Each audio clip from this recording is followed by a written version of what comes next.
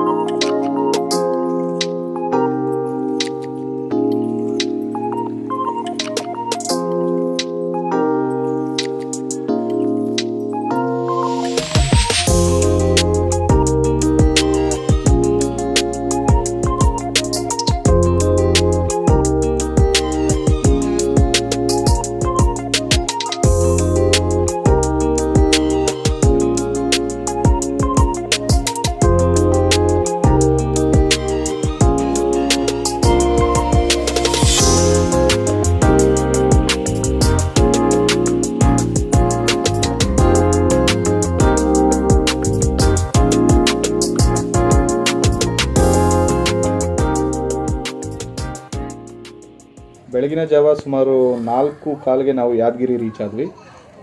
ಅದಾದ ನಂತರ ಸೀದಾ ನಮ್ಮ ಸ್ನೇಹಿತ ಶರಣಪ್ಪನ ಮನೆಗೆ ಹೋಗಿ ಫ್ರೆಶ್ ಅಪ್ ಆಗಿ ಕಾಫಿ, ಟೀ ಕುಡ್ಕೊಂಡು ಅಲ್ಲಿಂದ ನಮ್ಮ ಪ್ರಯಾಣ ನೇರವಾಗಿ ಮೈಲಾಪುರ ಕಡೆಗೆ.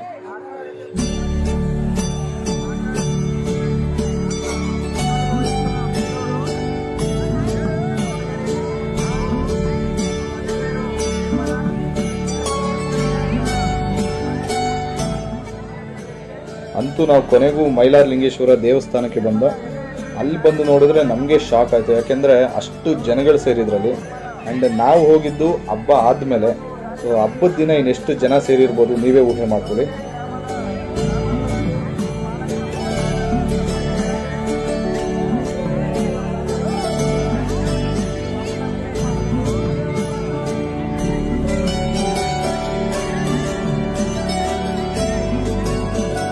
ಅಂತೂ ಇಂತೂ ನಾವು ಕೂಡ ಜನಗಳ ಮಧ್ಯೆ ಕಳ್ಳಾಡ್ಕೊಂಡು ನೂಕಾಡ್ಕೊಂಡು ಹರಸಾಹಸ ಮಾಡಿ ಆ ಬೆಟ್ಟದ ಹಿಂಭಾಗದಲ್ಲಿರೋ ಒಂದು ನದಿಗೆ ಬಂದೋ ಇಲ್ಲಿ ಸ್ನಾನ ಮಾಡಿ ನಂತರ ದೇವರ ದರ್ಶನಕ್ಕೆ ಹೋಗ್ಬೇಕು ಅನ್ನೋದು ನಂಬಿಕೆ, ಇಲ್ಲಿನ ಭಕ್ತರ ನಂಬಿಕೆ. ಸೊ ಹಾಗಾಗಿ ನಾವು ಕೂಡ ನೇರವಾಗಿ ಈ ನದಿಗೆ ಬಂದು ಸ್ನಾನ ಮಾಡಿ ಆ ಬೆಟ್ಟದ ಮೇಲಿರೋ ದೇವರ ದರ್ಶನಕ್ಕೆ ಹೊರಟ.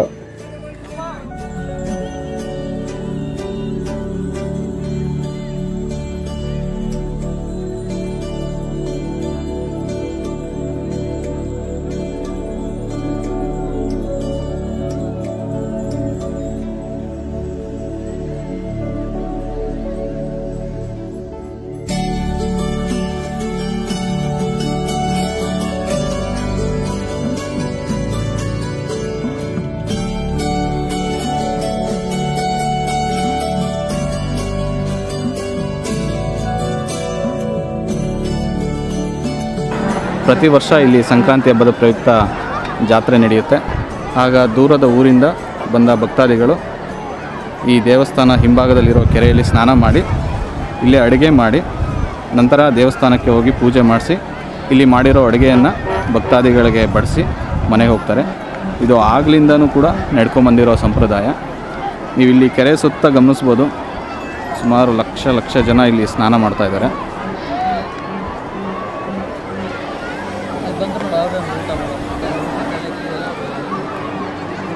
ಕ್ಯಾಮ್ರಾಗೆ ಎಷ್ಟು ಜನ ಕಾಣಿಸ್ತಿದ್ರೋ ಅನ್ನೋ ಗೊತ್ತಿಲ್ಲ ಬಟ್ ಇಲ್ಲಂತೂ ತುಂಬ ಜನ ಸೇರಿದ್ದಾರೆ.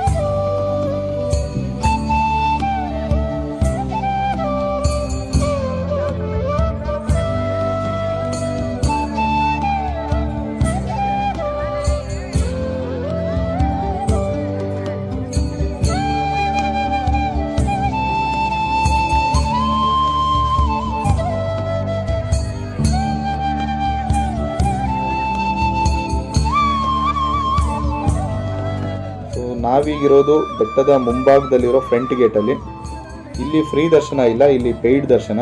ಅಂದರೆ ಮುನ್ನೂರು ರೂಪಾಯಿ ಫೀಸ್ ಪೇ ಮಾಡಬೇಕು. ಸೊ ಮುನ್ನೂರು ರೂಪಾಯಿ ಪೇ ಮಾಡಿದ್ರೆ ನಿಮಗೆ ಡೈರೆಕ್ಟ್ ದರ್ಶನ ಆಗುತ್ತೆ. ಫ್ರೀ ದರ್ಶನ ಬೇಕು ಅಂದರೆ ಬೆಟ್ಟ ಸುತ್ತಾಕೊಂಡು ಹೋಗಬೇಕು. ಸುತ್ತಾಕೊಂಡು ಹೋಗಿ ಆ ಕ್ರೌಡಲ್ಲಿ ನಿಂತು ನಂತರ ಆ ಹಿಂಭಾಗದಿಂದ ಬಂದು ದೇವರ ದರ್ಶನ ಮಾಡಬೇಕಾಗುತ್ತೆ ನೀವು. ಬಟ್ ನಾವು ಹೋಗಿದ್ದ ದಿನ ತುಂಬ ಅಂದರೆ ತುಂಬ ಕ್ರೌಡ್ ಇತ್ತು. ಆ್ಯಂಡ್ ನಮಗೆ ಗೊತ್ತಿರೋರು ಒಬ್ಬರು ಅಲ್ಲೇ ಕೆಲಸ ಮಾಡ್ತಾಯಿದ್ರು ಸೊ ಹಾಗಾಗಿ ಅವರ ಒಂದು ಇನ್ಫ್ಲೂಯೆನ್ಸ್ ತಗೊಂಡು ನಾವು ಒಳಗಡೆ ಎಂಟ್ರಿ ಆದೋ. ಸೊ ಅಲ್ಲಿ ಸ್ವಲ್ಪ ತಡ ಆಯಿತು ನಮಗೆ.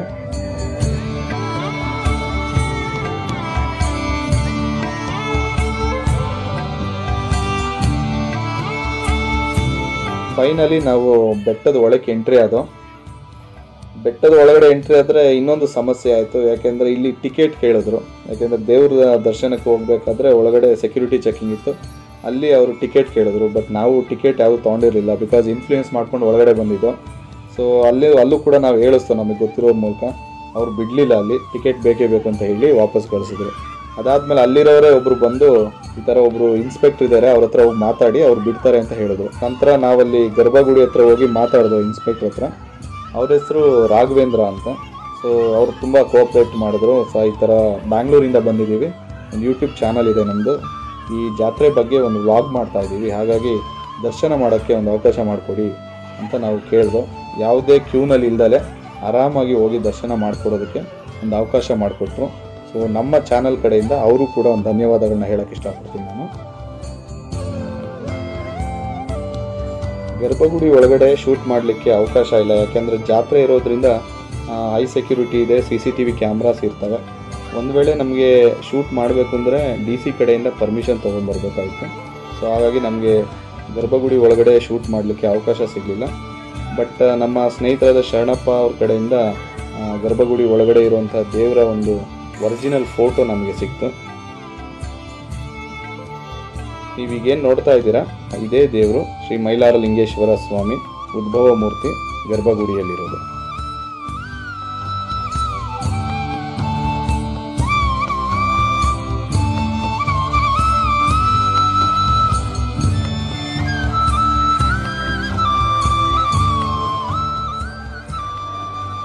ಶ್ರೀ ಮೈಲಾರ್ ಲಿಂಗೇಶ್ವರ ಸ್ವಾಮಿಯ ಧರ್ಮಪತ್ನಿ ಗಂಗಿ ಮಾಳಮ್ಮ ದೇವರು. ಸೊ ಇಲ್ಲೂ ಕೂಡ ಪ್ರತಿದಿನ ಪೂಜೆ ನಡೆಯುತ್ತೆ. ವರ್ಷಕ್ಕೆ ಎರಡು ಬಾರಿ ತುಂಬ ವಿಜೃಂಭಣೆಯಿಂದ ಈ ಕ್ಷೇತ್ರದಲ್ಲಿ ಜಾತ್ರೆ ನಡೆಯುತ್ತೆ. ಒಂದು ಮಕರ ಸಂಕ್ರಾಂತಿ ಹಬ್ಬದಲ್ಲಿ, ಮತ್ತೊಂದು ದೀಪಾವಳಿ ಹಬ್ಬದಲ್ಲಿ. ಭಕ್ತರು ಶತಮಾನಗಳಿಂದ ಕೂಡ ತಮ್ಮ ಸಂಪ್ರದಾಯವನ್ನು ಮರಿದಲೆ ತುಂಬ ಚೆನ್ನಾಗಿ ಈ ಒಂದು ಜಾತ್ರೆಯನ್ನು ಈ ಕ್ಷೇತ್ರದಲ್ಲಿ ಇಲ್ಲಿನವರು ಮಾಡ್ಕೊಂಡು ಬಂದಿದ್ದಾರೆ.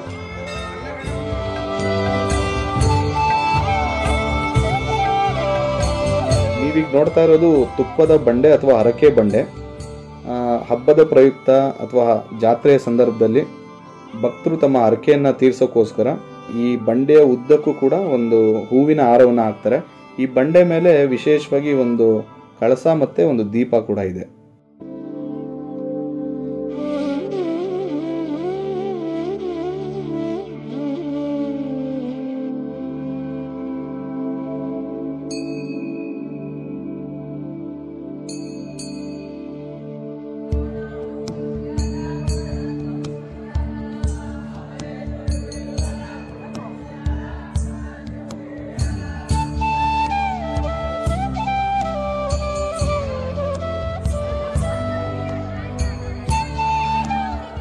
ನಾ ಆಗಲೇ ಹೇಳಿದಾಗ ಇದು ಬೆಟ್ಟದ ಹಿಂಭಾಗದಲ್ಲಿರುವಂತಹ ಮೆಟ್ಟಿಲುಗಳು.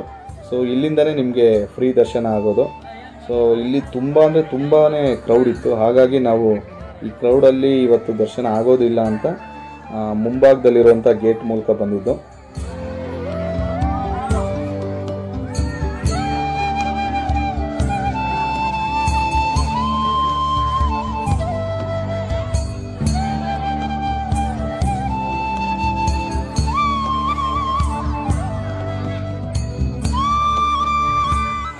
ಮೈಲಾರಲಿಂಗೇಶ್ವರ ಸ್ವಾಮಿ ದೇವಸ್ಥಾನ ಎಷ್ಟು ಫೇಮಸ್ಸು ಅದರ ಭಕ್ತಾದಿಗಳ ಸಂಖ್ಯೆ ಕೂಡ ಅಷ್ಟೇ ಫೇಮಸ್ಸು ಈಗ ಇಲ್ಲಿಗೆ ಬರೋ ಭಕ್ತಾದಿಗಳ ಸಂಖ್ಯೆ ಕೂಡ ಸಹಸ್ರಾರು ಸಂಖ್ಯೆಯಲ್ಲಿ ಇರುತ್ತೆ.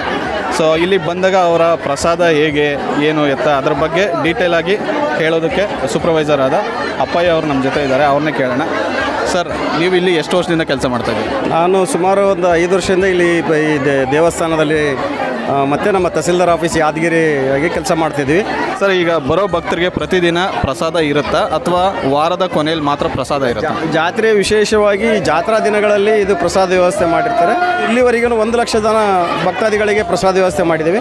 ಮತ್ತು ಇನ್ನೂ ನಾವು ನಮ್ಮ ಈ ಜಾತ್ರೆ ಮುಗಿಯುವವರೆಗೂ ಇದು ಪ್ರಸಾದವನ್ನು ಕೊಡ್ತೀವಿ. ಈ ಎಲ್ಲ ಜಾತ್ರೆ ಸೂಪರ್ವೈಸಿಂಗ್ ಎಲ್ಲನೂ ನಮ್ಮ ತಹಸೀಲ್ದಾರ್ ಆಫೀಸು ಯಾದಗಿರಿ ನೋಡ್ಕೊಳ್ತಾ ಇದೆ.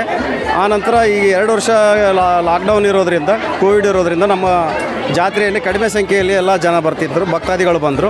ಈ ಸಲ ಎರಡು ವರ್ಷದ ಗ್ಯಾಪ್ ನಂತರ ಈ ಸಲ ಜನ ಒಂದು ಮೂರರಿಂದ ಐದು ಲಕ್ಷವರೆಗೂ ಭಕ್ತಾದಿಗಳು ನಮ್ಮ ಮೈಲಾಪುರ ಜಾತ್ರೆಗೆ ಬಂದಿದ್ದಾರೆ.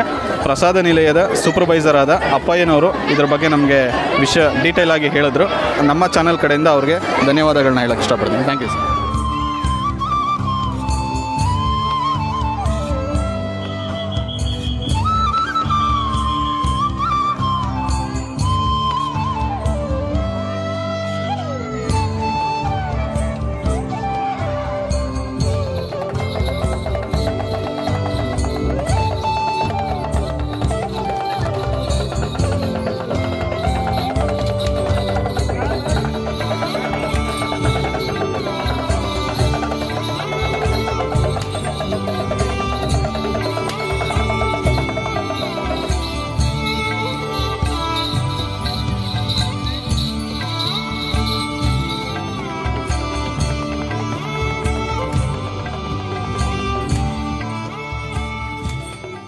ಈಗ ನೀವು ನೋಡ್ತಾ ಇದ್ದೀರಾ, ಇವರನ್ನ ಗೊರವರು ಅಂತ ಹೇಳ್ತಾರೆ. ಇವರು ಮೂಲ ಭಕ್ತರು, ಮೈಲಾರಲಿಂಗೇಶ್ವರ ಸ್ವಾಮಿಗೆ. ಪ್ರತಿ ವರ್ಷ ಜಾತ್ರೆ ಟೈಮು ಮತ್ತು ಈ ಹಬ್ಬದ ಟೈಮಲ್ಲಿ ಅವರೆಲ್ಲರೂ ಬಂದು ದೇವರಿಗೆ ಪ್ರಾರ್ಥನೆ ಮತ್ತು ಪೂಜೆಯನ್ನು ಸಲ್ಲಿಸಿ ಹೋಗ್ತಾರೆ. ಸೊ ಈಗ ನೀವು ಇಲ್ಲಿ ನೋಡ್ತಾ ಇದ್ದೀರಾ, ಅವರು ಚಾವಟಿಲಿ ಹೊಡ್ಕೊತಾ ಇದ್ದಾರೆ. ಅದೇ ಏಟು ಬೇರೆ ಯಾರಾದರೂ ತಿಂದರೆ ಮೈ ಕೈಲ ಊದ್ಕೊಂಡ್ಬಿಡುತ್ತೆ ಗಾಯಗಳಾಗಿರುತ್ತೆ ಬಟ್ ಅವ್ರಿಗೆ ಯಾವುದೇ ತೊಂದರೆ ಮತ್ತು ಗಾಯಗಳಾಗಲ್ಲ. ಕಾರಣ ಅವ್ರ ಹತ್ರ ಒಂದಿನ ಭಂಡಾರ ಇದೆ. ಭಂಡಾರವನ್ನು ಹಚ್ಕೋತಾರೆ. ಸೊ ಅವರು ದೇವ್ರ ಮೇಲೆ ಇಟ್ಟಿರೋ ನಂಬಿಕೆ ಆ ಥರ ಅಗಾಧವಾಗಿದೆ.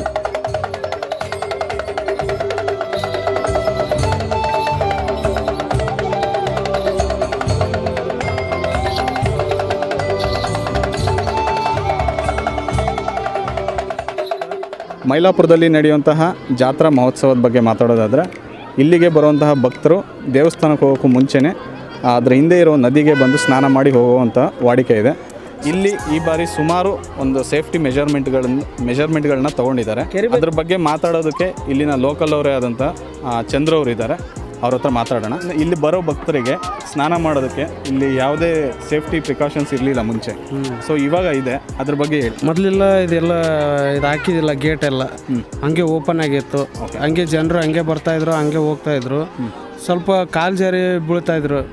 ಅಲ್ಲಿ ಭಾಳಷ್ಟು ಅನಾಹುತಗಳಾಗಿದ್ದಾವೆ ಹೋಗಿ ಹೋಗಿ ಅವ್ರ ಮೇಲೆ ಬಿದ್ದು ಅವ್ರಿಗೆ ಏನಾದರೂ ಸ್ವಲ್ಪ ತೊಂದರೆ ಆಗಿ ಭಾಳ ಅನಾಹುತಗಳನ್ನು ಆಗಿದ್ದಾವೆ ಅದು ಸಂದರ್ಭ ನೋಡಿ ಇದೆಲ್ಲ ಮಾಡಿಸಿದ್ದಾರೆ. ಇದೆಲ್ಲ ಕ್ಲೀನ್ ಮಾಡಿಸಿದ್ದಾರೆ. ಕಲ್ಲುಗಳೆಲ್ಲ ಕರೆಕ್ಟಾಗಿ ಇಟ್ಟಿದ್ದಾರೆ. ಅದೆಲ್ಲ ಗಿರ್ಲೆಲ್ಲ ಹಾಕ್ಸಿದ್ದಾರೆ. ಫುಲ್ ಅಲ್ಲಿಂದ ಅಲ್ಲಿ ಗಂಟ. ಓಕೆ ಸ್ನಾನ ಮಾಡೋಕೆ ಬಂದವರಿಗೆಲ್ಲ ಅವ್ರಿಗೇನು ತೊಂದರೆ ಆಗ್ಬಾರ್ದು. ಒಳಗಡೆ ಇಲ್ಲಿ, ಕೆರೆ ಒಳಗಡೆ ಬೆಳ್ಳಿ ಇದೆ. ಎಂಥ ಈಜು ಬರೋರು ಕೂಡ ಒಳಗಡೆ ಹೋದರೂ ಅದು ಮೇಲೆ ಬರಲಿಕ್ಕೆ ಆಗಲ್ಲ. ಎಷ್ಟು ಪರ್ಫೆಕ್ಟಾಗಿ ಈಜು ಬಂದ್ರೂ ಕೂಡ ಬೆಳ್ಳಿ ಹಿಡ್ಕೊಂಡು ತಂದರೆ ಯಾರು ಮಾಡಿದ್ರು ಏನು ಮಾಡಿದ್ರು ಬರೋಕ್ಕಾಗಲ್ಲ. ಅದೆಲ್ಲ ಸೊ ಹಾಗಾಗಿ ಅದೆಲ್ಲ ಕ್ಲೀನ್ ಮಾಡಿಸಿದ್ದಾರೆ. ಅಂದರೆ ಚಂದ್ರ ಅವ್ರು ಹೇಳೋದು, ಬನ್ನಿ ಕಡೆ. ಅದು ದೇವಸ್ಥಾನ. ಅಲ್ಲಿ ಕಾಣಿಸ್ತಾ ಇರೋ ದೇವಸ್ಥಾನ, ಆ ಬೆಟ್ಟ. ಅಲ್ಲಿಂದ ಬಂದರೆ ಇಲ್ಲಿ ನದಿ ಕಾಣುತ್ತೆ ನಿಮಗೆ. ಈ ನದಿಗೆ ಅದು ರಸ್ತೆ. ಸೊ ಅಲ್ಲಿಂದ ಕೆಳಗೆ ಇಳಿದು ಭಕ್ತಾದಿಗಳು ಬಂದು ಸ್ನಾನ ಮಾಡಿ ಅಲ್ಲಿಂದ ದೇವಸ್ಥಾನಕ್ಕೆ ಹೋಗಬೇಕು. ಮುಂಚೆ ಈ ಥರ ಯಾವುದು ಗ್ರಿಲ್ಸ್ಗಳು ಹಾಕಿರಲಿಲ್ಲ ರೋಡ್ ಸೈಡಲ್ಲಿ. ಇಲ್ಲಿ ಜಾತ್ರಾ ಮಹೋತ್ಸವ ಅಂದರೆ ಲಕ್ಷಾಂತರ ಭಕ್ತರುಗಳು ಬರ್ತಾರೆ ಸ್ನಾನ ಮಾಡ್ತಿರ್ತಾರೆ, ಅಪಾಯಕಾರಿ ಇರುತ್ತೆ. ಸೊ ಹಾಗಾಗಿ ಈ ಬಾರಿ ತುಂಬ ಸೇಫ್ಟಿ ಪ್ರಿಕಾಷನ್ನ ತಗೊಂಡು, ಸೊ ಬೋಟಿಂಗ್ಸ್ಗಳನ್ನ ಕೂಡ ಇಲ್ಲಿ ಕಳಿಸಿದ್ದಾರೆ. ಸೊ ಇಲ್ಲಿ ವಾರ್ನಿಂಗ್ ಲೈನ್ ಕೂಡ ಬೆಳಗ್ಗೆ ಬಿಟ್ಟಿದ್ರು. ಸೊ ಇವಾಗ ಯಾವುದೂ ಇಲ್ಲ, ಅದು ಭಕ್ತಾದಿಗಳ ಸಂಖ್ಯೆ ಕಡಿಮೆ ಇರೋದ್ರಿಂದ, ಸೊ ತೆಗೆದಿದ್ದಾರೆ. ಈ ವರ್ಷದ ಜಾತ್ರಾ ಮಹೋತ್ಸವನ ಒಂದು ಸ್ಪೆಷಲ್ಲಾಗಿ ಜಿಲ್ಲಾಧಿಕಾರಿಗಳು ಅಥವಾ ತಾಲೂಕು ಅಧಿಕಾರಿಗಳ ತಂಡ ಅಥವಾ ಡಿ ಸಿ ಅವರ ತಂಡ ಒಂದು ಸ್ಪೆಷಲ್ಲಾಗಿ ಈ ಒಂದು ಜಾತ್ರಾ ಮಹೋತ್ಸವವನ್ನು ಏರ್ಪಾಡು ಮಾಡಿದೆ.